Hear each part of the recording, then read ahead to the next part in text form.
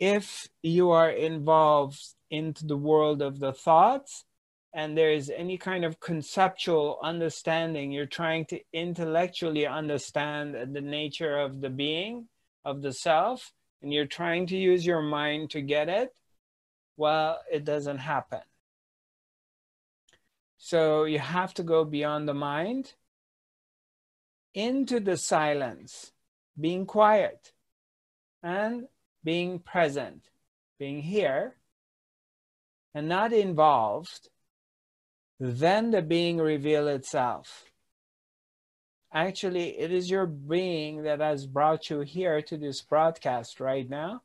Something much bigger, greater than you and I is at work. And something wants to fall in love with itself. Something wants to reveal itself to itself it's called the mystery. And the mystery has brought us all here at this pivotal point in our lives to this place.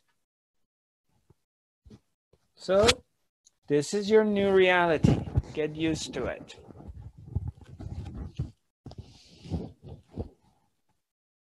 And the more you dive into it, the more you drop your resistance, the more you're willing to be with the presence the more the presence reveals its magic in every moment of your life literally miracles starts to happen. Literally magic will appear in your life. You will see synchronicities of things aligning with each other. You may think of anything you need and then all of a sudden it appears on your way. Things show up. Things align you need money, money appears in your life. You need help, help appears in your life. Whatever you need appears in your life. You're not manifesting it. Don't take me wrong. You're not using the power of an individual to manifest things. In fact, you're simply surrendered to what is. You're surrendered to presence in this moment right now. And you're not trying to manipulate anything. You're not trying to make anything happen. You're actually kicking back and just simply sitting and not trying. And you're spending time with your being. And since your being is greater than anything else, your being knows what you need. So your needs are being met. Things you need appear to you because you're spending time with your being. You're surrendering to your being. You are falling in love with the presence. And now, this is not a narcissistic way. I'm not talking about that. You're not saying me, me, me. You're simply quiet you don't have a story. You're just here, not involved with anything. So you stop and you're here. And then the bliss, the juice, the being, the love begin to show itself. And all kinds of magic happens. Sometimes you may be healing people. All of a sudden, you may be channeling things, you may become psychic, you have intuitive knowing, all kinds of different things can happen. But again, that's not even the goal. You're not even looking for that. Those are side dishes. It's not the main objective.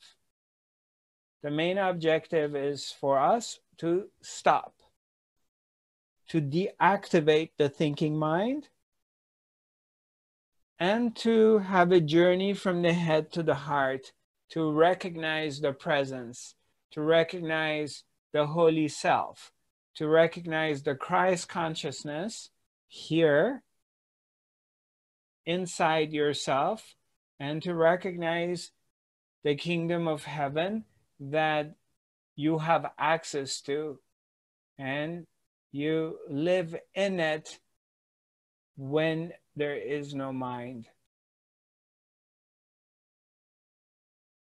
and it's blissful and it's centered and it's quiet and it's love.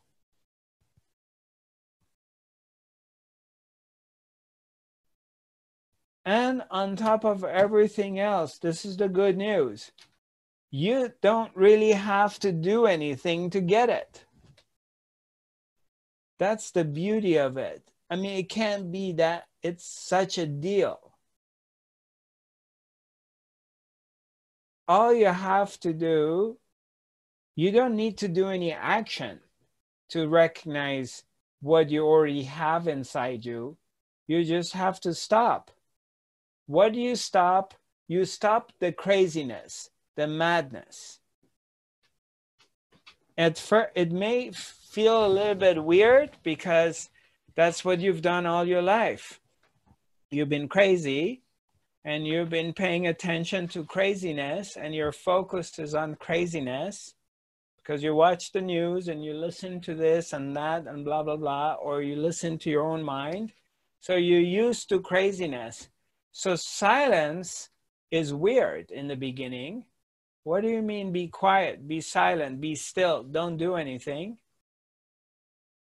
So we have to unclutch from an old programming that's not serving you. All it does, it brings mi misery, brings brings misery to you.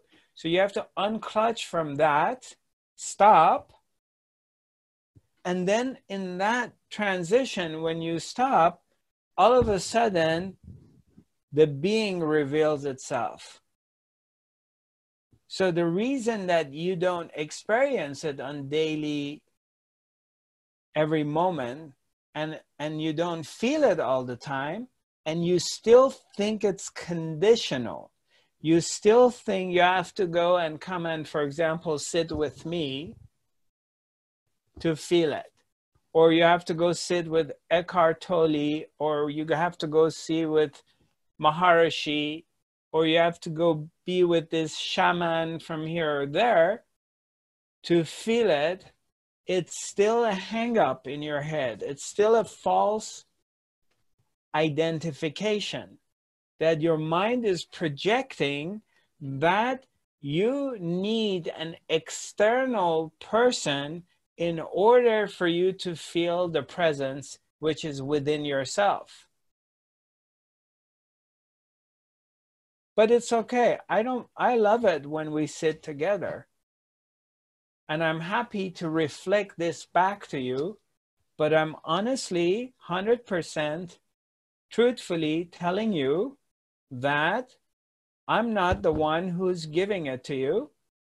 You're already feeling yourself. You're the one who's giving it to yourself. I'm just a mirror here. I'm mirroring it to you. That's all. You are the Buddha.